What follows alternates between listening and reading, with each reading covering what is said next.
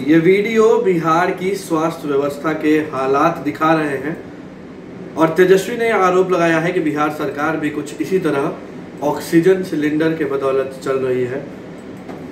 और उसके साथ एक ट्वीट भी उन्होंने किया। तेजस्वी यादव ने अपने ट्विटर हैंडल पर लिखा है कि यह बिहार है, माँ की गोद में बीमार बच्चा है, पिता ऑक्सीजन सिलेंडर खींच रहा है और ऐसे नीतीश बीजेपी की पार्टी हो रही है।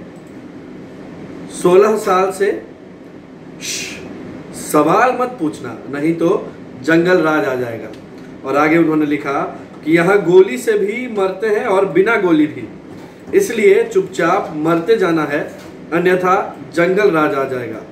का समझे बाबू?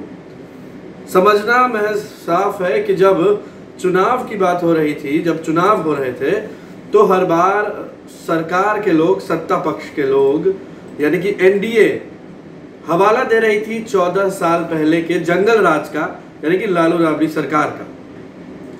मगर अब तेजस्वी यादव ने ट्वीट करके इसी का ज़िक्र किया है और कहा है कि जब सवाल पूछते हैं तो सत्ता पक्ष जो है वो जंगल राज का हवाला देता है, मगर लोग गोली से भी मर रहे हैं और बिना गोली के भी।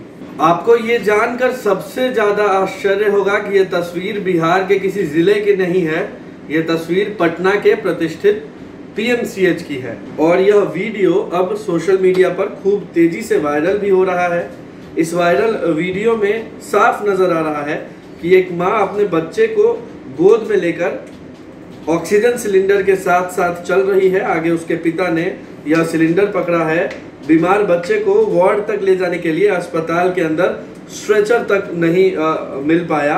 इस जानकारी के मुताबिक यह महिला मुजफ्फरपुर के रहने वाली है और इसके बेटे को सांस लेने में तकलीफ़ की शिकायत थी। इसका इलाज कराने के लिए वह पीएमसीएच पहुँची थी। बच्चे के का इलाज पीएमसीएच के शिशु रोग विभाग में चल रहा था। और उसे ऑक्सीजन सिलेंडर भी लगा हुआ था। चिकित्सकों ने महिला को सलाह दी कि वे अपने बच्चे के सीने का एक्सरे करा लें। मगर हैरानी की बात तो यह है कि अस्पताल प्रबंधन की ओर से बच्चे को एक्सरे सेंटर तक ले जाने के लिए कोई सुविधा नहीं दी गई।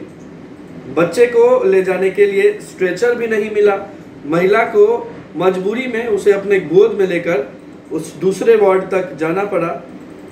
और एक्सरे सेंटर में ले जाते हुए किसी ने यह वीडियो शूट किया, जो अब हर ओर बिहार सरकार के लिए और बिहार की स्वास्थ्य व्यवस्था के लिए एक निंदा का विषय बन गया है। आप अपनी प्रतिक्रिया कमेंट बॉक्स में बता सकते हैं। अगर आपके पास भी ऐसा कोई वीडियो है, ऐसी कोई खबर है तो आप कमेंट बॉक्स में बताएँ या दिए हुए हमारे नंबर पर व्हाट्सएप कर सकते हैं। आप लाइव बिहार के साथ बने रहें। आपका बहुत बहुत शुक्रिया। लाइव बिहार। यूट्यूब पर सब्सक्राइब और फेसबुक पर लाइक ज़रूर करें।